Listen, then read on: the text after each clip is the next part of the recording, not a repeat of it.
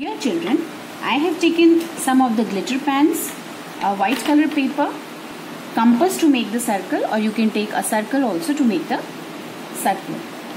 So let's begin the activity. First of all, so I will cut this paper into square shape. Here I got the square shape paper. First of all, I will fold this in diamond shape. Then I will take one half fold. From here also one half fold I will take.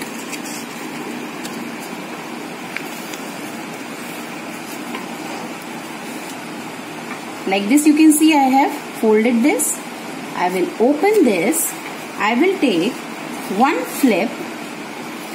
Here are two flips. I will take one flip and I will fold it like this.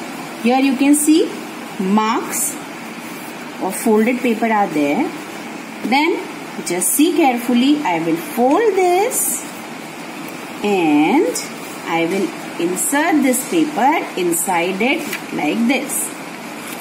So it is gone inside so it is fixed now. Just like this I will take this side and I will insert this paper inside it. So here it is fixed. Okay children. This is one of the way to make the bookmark. Like this. Like this I can use this bookmark.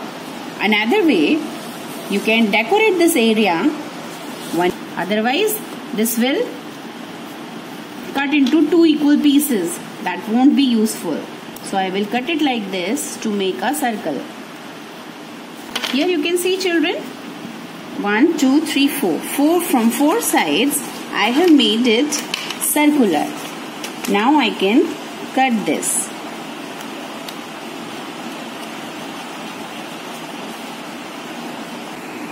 Now you can convert this circle in any shape of the planet and you can use it.